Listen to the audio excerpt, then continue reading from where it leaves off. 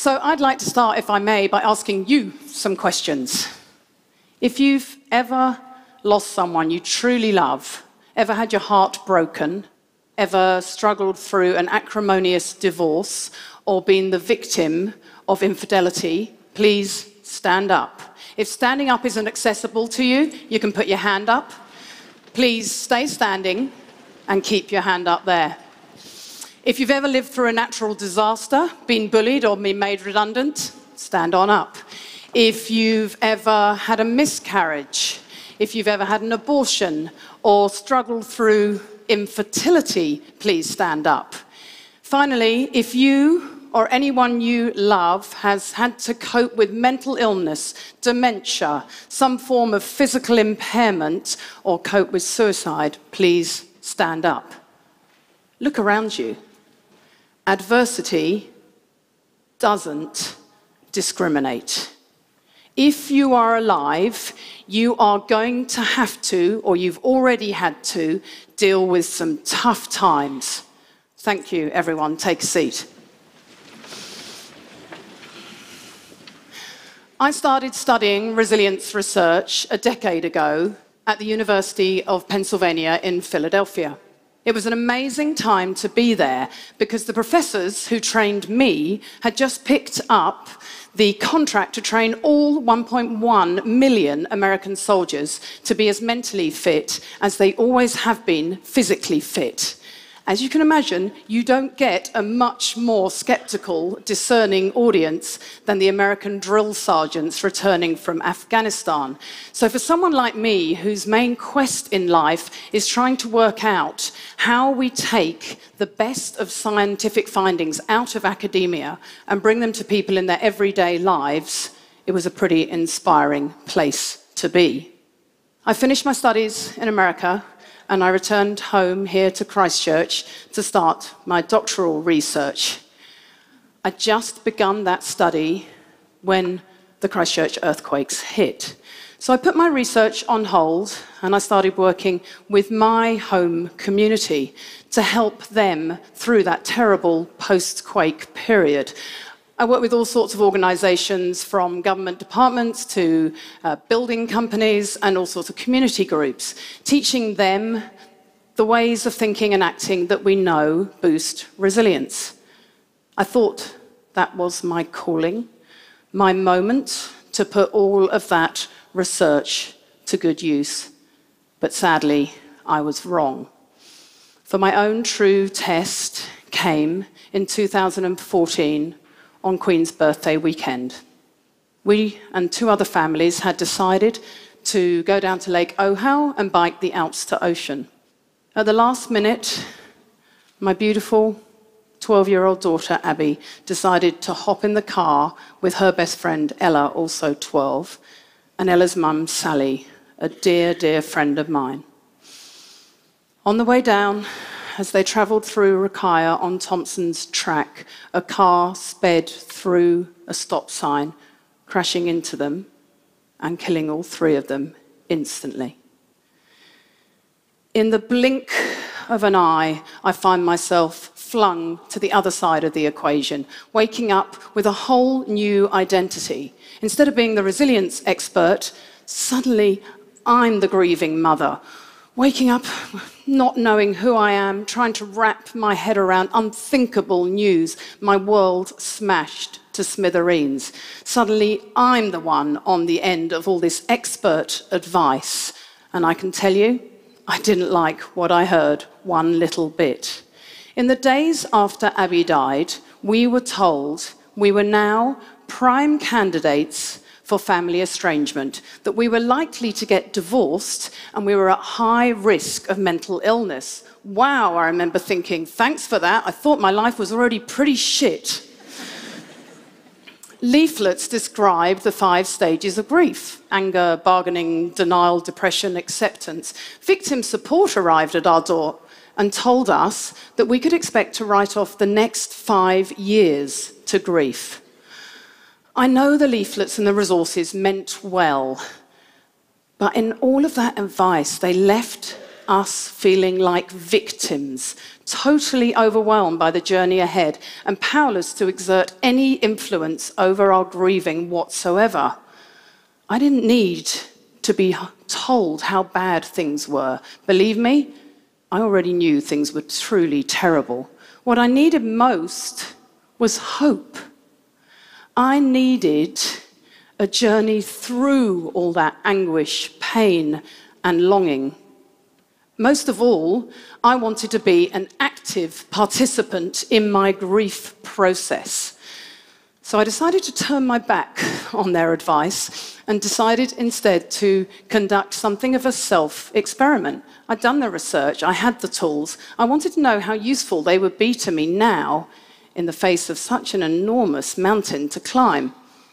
Now, I have to confess at this point, I didn't really know that any of this was going to work.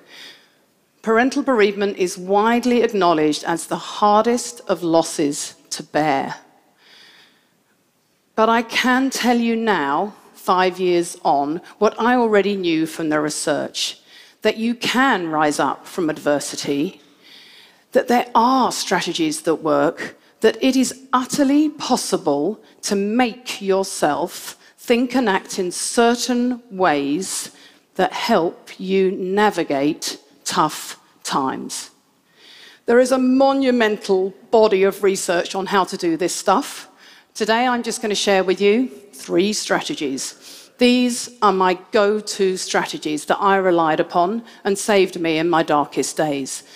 They're three strategies that underpin all of my work, and they're pretty readily available to us all. Anyone can learn them. You can learn them right here today. So, number one, resilient people get that shit happens. They know that suffering is part of life. This doesn't mean they actually welcome it in, they're not actually delusional, just that when the tough times come, they seem to know that suffering is part of every human existence. And knowing this stops you from feeling discriminated against when the tough times come. Never once did I find myself thinking, why me? In fact, I remember thinking, why not me? Terrible things happen to you just like they do everybody else. That's your life now. Time to sink or swim. The real tragedy is that not enough of us seem to know this any longer. We seem to live in an age where we're entitled to a perfect life, where shiny, happy photos on Instagram are the norm, when actually, as you all demonstrated at the start of my talk, the very opposite is true. Number two, resilient people are really good at choosing carefully where they select their attention. They have a habit of realistically appraising situations and typically managing to focus on the things that they can change and somehow accept the things that they can't. This is a vital, learnable skill for resilience. As humans, we are really good at noticing threats and weaknesses. We are hardwired for that negative. We're really, really good at noticing them. Negative emotions stick to us like Velcro, whereas positive emotions and experiences seem to bounce off like Teflon. Being wired in this way is actually really good for us and served us well from an evolutionary perspective. So imagine for a moment I'm a cave woman and I'm coming out of my cave in the morning, and there's a saber toothed tiger on one side and a beautiful rainbow on the other. It kind of pays for my survival for me to notice this tiger. The problem is, we now live in an era where we are constantly bombarded by threats all day long. And our poor brains treat every single one of those threats as though they were a tiger. Our threat focus, our stress response is permanently dialed up. Resilient people don't diminish the negative, but they also have worked out a way of tuning into the good. One day, when doubts were threatening to overwhelm me, I distinctly remember thinking, no, you do not get to get swallowed up by this. You have to survive. You've got so much to live for. Choose life, not death. Don't lose what you have to what you have lost. In psychology, we call this benefit finding. In my brave new world, it involved trying to find things to be grateful for. At least our wee girl hadn't died of some terrible, long, drawn out illness. She died suddenly, instantly, sparing us and her that pain. We had a huge amount of social support from family and friends to help us through. And most of all, we still had two beautiful boys to live for who needed us now and deserved to have as normal a life as we could possibly give them. Being able to switch the focus of your attention to also include the good has been shown by science to be a really powerful strategy. So in 2005, Marty Seligman and colleagues conducted an experiment, and they asked people, all they asked people to do was think of three good things that had happened to them each day.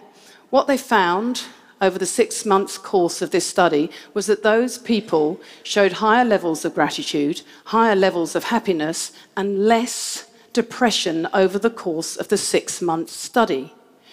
When you're going through grief, you might need a reminder or you might need permission to feel grateful.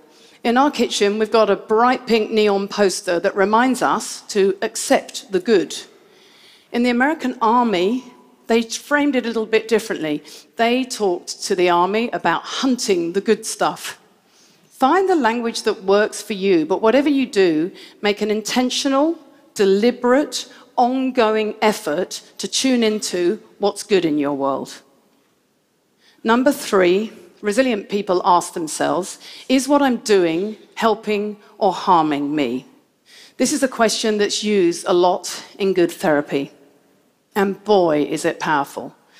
This was my go to question in the days after the girls died. I would ask it again and again. Should I go to the trial and see the driver? Would that help me or would it harm me? Well, that was a no brainer for me. I chose to stay away. But Trevor, my husband, decided to meet with the driver at a later time. Late at night, I'd find myself sometimes poring over old photos of Abi, getting more and more upset. I'd ask myself, Really? Is this helping you or is it harming you? Put away the photos, go to bed for the night, be kind to yourself. This question can be applied to so many different contexts. Is the way I'm thinking and acting helping or harming you in your bid to get that promotion, to pass that exam, to recover from a heart attack. So many different ways. I write a lot about resilience, and over the years, this one strategy has prompted more positive feedback than any other. I get scores of letters and emails and things from all over the place of people saying what a huge impact it's had on their lives. Whether it is forgiving family ancient transgressions, arguments from Christmases past, or whether it is just trawling through social media, whether it is asking yourself whether you really need that extra glass of wine, asking yourself whether what you're doing, the way you're thinking, the way you're acting is helping or harming you, puts you back in the driver's seat. It gives you some control over your decision making. Three strategies, pretty simple. They're readily available to us all, anytime, anywhere. They don't require rocket science. Resilience isn't some fixed trait. It's not elusive that some people have and some people don't. It actually requires very ordinary processes, just the willingness to give them a go. I think we all have moments in life where our life path splits and the journey we thought we were going down takes some terrible, veers off to some terrible direction that we never anticipated and we certainly didn't want. It happened to me. It was awful beyond imagining. If you ever find yourselves in a situation where you think, there's no way I'm coming back from this, I urge you to lean into these strategies and think again. I won't pretend that thinking this way is easy, and it doesn't remove all the pain. But if I've learned anything over the last five years, it is that thinking this way really does help. More than anything, it has shown me that it is possible to live and grieve at the same time. And for that, I will be always grateful. Thank you. Thank you.